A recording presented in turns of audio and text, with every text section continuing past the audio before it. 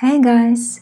You wrote in the comments that you prefer texture paintings and I made a super texture artwork for you using unconventional materials and applying new incredible painting techniques. Last year I attended a 3-day online painting course where I learned various new techniques. Today I'm delighted to share one of them with you.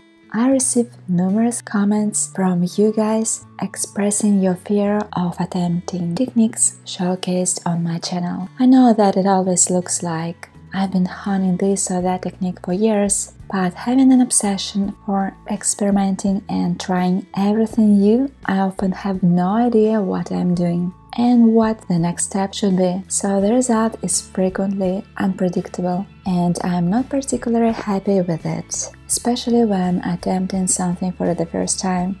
But it's okay. Yeah, it can be incredibly frustrating, believe me, I know the feeling. However, this should not discourage us from trying. There is no reason to fear failure or worry that outcome will not be perfect, because, spoiler alert, it won't be. Why on earth should it be perfect when you're trying something for the first time? If someone puts on skate for the very first time, nobody expects them to flawlessly execute a triple sheepskin jump right away. If they manage not to fall within the first 5 seconds, it's a success. These principles apply to any skill. It's essential to allow yourself to make mistakes and not be too hard on yourself for not achieving a perfect result. Trust me, with enough attempts, you will surpass your own expectations. Just give yourself time and in the meanwhile, enjoy the process.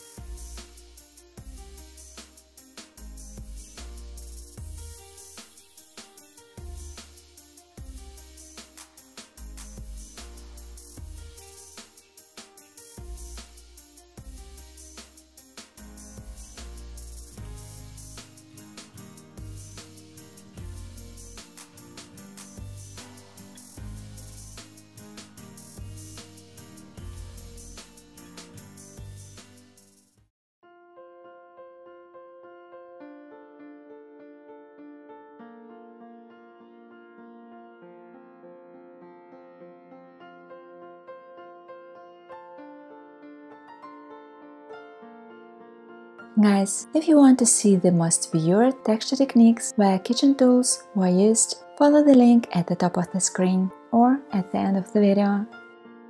What was or still is your biggest fear as a beginner artist? Write please your answer in the comments below and be sure to subscribe because more unique content is on the way.